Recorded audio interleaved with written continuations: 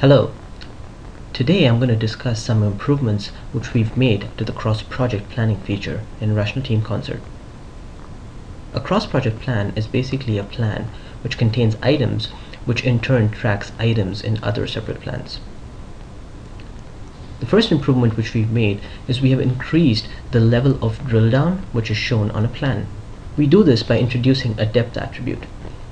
So when you open a plan in edit mode, and you have a display option set, you also see a depth of tree displayed attribute associated with it.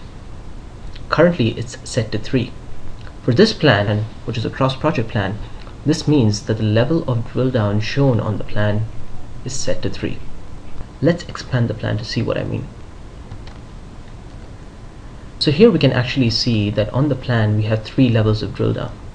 So the first level is the item itself, which belongs to the plan, it's called track product 1. The second level is basically a set of products which are being tracked by track product 1. So it's product 1 version 1. Now product 1 version 1 in turn tracks two other stories and this constitutes our third level. So in this way for the rest of the plan we actually show a drill down of 3. The depth attribute is also configurable so the user can click this drop down to set the value of the depth anywhere between 2 to 5 or all which brings in all the tracked elements. Another improvement which we've made is the introduction of plan checks which can be used to assess the health of a cross-project plan. To do this we need to add a plan check attribute to the plan and select the cross-project planning problems check. By enabling this plan check we see a set of warning against items in the plan. These warnings are nothing but the cross-project planning problem checks.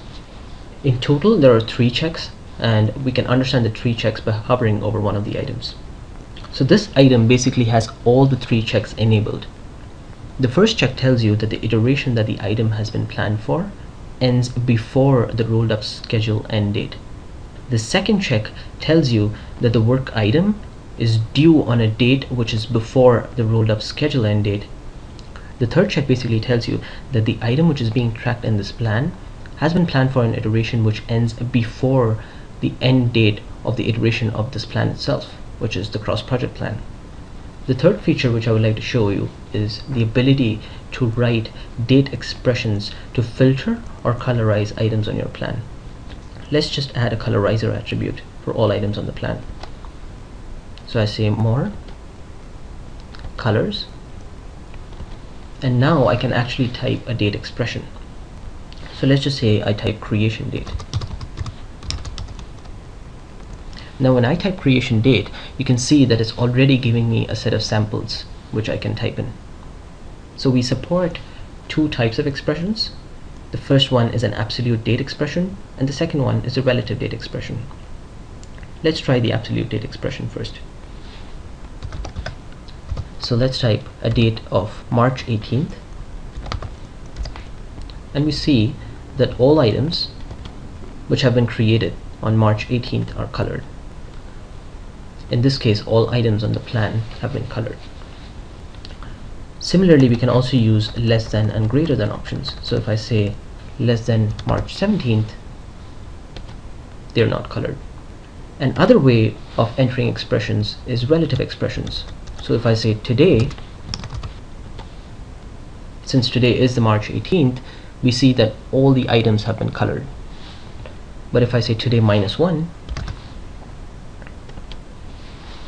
we see that all items lose their color since they've been created today. This too supports the less than and greater than options. So if we say greater than today minus 1, we see that they again get their color options.